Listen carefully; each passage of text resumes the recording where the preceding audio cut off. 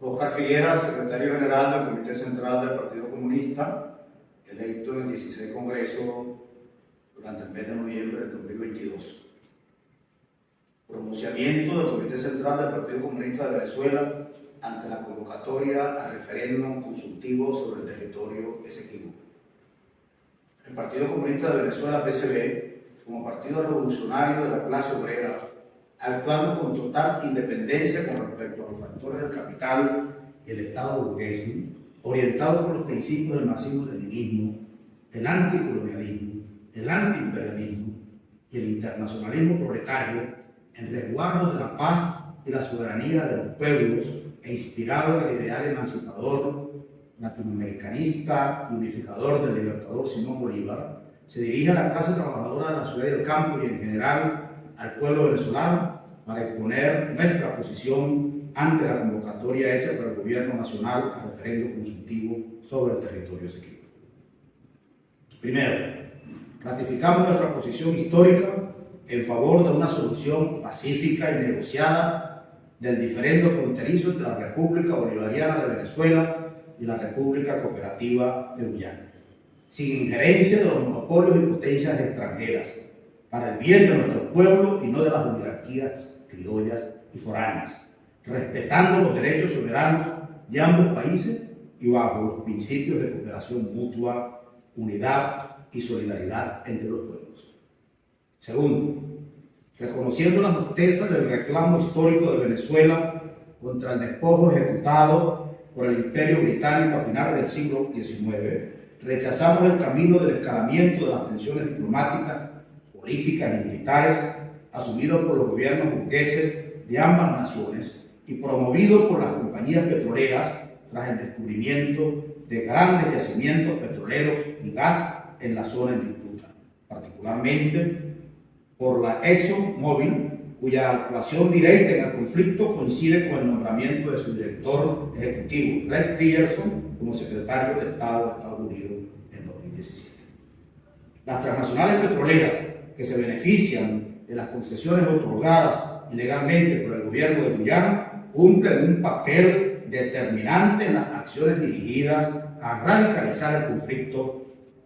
binacional en búsqueda de una decisión rápida que asegure sus intereses, mientras abren paso a la posibilidad de un choque entre pueblos vecinos con consecuencias impredecibles. Tercero, llamamos al pueblo trabajador de Venezuela y Guyana a permanecer alertas y condenar enérgicamente de cada lado de la frontera estas maniobras que solo favorecen al capital y a las burguesías locales. Igualmente, llamamos a ambos pueblos a rechazar cualquier pretensión de instalar enclaves militares de Estados Unidos de cualquier otra potencia extranjera en el Esequibo, lo que sería una amenaza a la paz en la región y una agresión a la soberanía de las dos naciones. El gobierno del presidente Nicolás Maduro en su desespero por, el creciente rechazo popular a su gestión neoliberal y para desentenderse de las justas demandas que realizan a diario las y los trabajadores venezolanos, ha recurrido a la vieja estrategia de la burguesía sobre el tema del desequilibrio. La de intentar insuflar sentimientos patrioteros y chauvinistas a buena parte de la población a través de una millonaria campaña publicitaria. Denunciamos que esa estrategia adoptada por el gobierno con la que se pretende engañar, manipular y dominar al pueblo venezolano, haciendo creer que en nuestro país no hay problema más importante que resolver y en únicamente finalidades electoreras, populistas y reaccionarias. Incluso pudiera darse un escenario en el que como resultado del escalamiento de tensiones, el gobierno del presidente Nicolás Maduro Moros imponga un estado de excepción justifique la suspensión de las elecciones presidenciales previstas para el próximo año. Alertamos sobre las consecuencias que esa política puede tener en una derrota estratégica de las legítimas aspiraciones de Venezuela sobre el territorio esequivo y un avance en el posicionamiento de los capitales transnacionales y los intereses de las potencias imperialistas en la región. Para el PCB no tiene autoridad moral ni política para llamar a una falsa unidad nacional en defensa de la patria. Entre paréntesis, un gobierno que coarta y violenta los derechos laborales, humanos, sociales y políticos de la clase trabajadora venezolana. que judicializa y proscribe a partidos como lo hizo recientemente con el Partido Comunista de Venezuela, que aplica una política de confiscación de los derechos constitucionales del pueblo trabajador y de restricción de las libertades democráticas, con el criminal congelamiento de salarios y pensiones, el desmontaje de las convenciones colectivas, las restricciones a la libertad sindical, el encarcelamiento y judicialización de trabajadores y trabajadoras que luchan o que denuncian a corruptos, las mejoras de la educación y la salud pública, la extrema precarización de servicios públicos esenciales como electricidad, agua y gas doméstico. El PCB llama al pueblo de Venezuela a reflexionar con pensamiento crítico y conciencia de clase sobre qué posición tomar ante el referéndum consultivo convocado por el gobierno sobre el tema del desequilibrio sin dejarse llevar por, la ruidosa campaña con la que pretenden mostrar al gobierno antiobrero, antipopular y antidemocrático del presidente Nicolás Maduro como el más patriota, cuando en realidad está dispuesto a entregarle todas las empresas transnacionales con tal de sostenerse en el poder. Tales son los casos de las petroleras Chevron, Repsol y EE, las concesiones en el arco minero del Orinoco y las zonas económicas especiales, en las que ofrecen grandes extensiones del territorio nacional a empresas extranjeras. El PCB también denuncia los mecanismos de coerción y las presiones indebidas que se están ejerciendo desde el poder para obligar a las y los ciudadanos a participar en este referéndum que no tiene carácter vinculante y por tanto no resuelve el diferendo. Son inaceptables las amenazas de despido injustificado o suspensión de beneficios sociales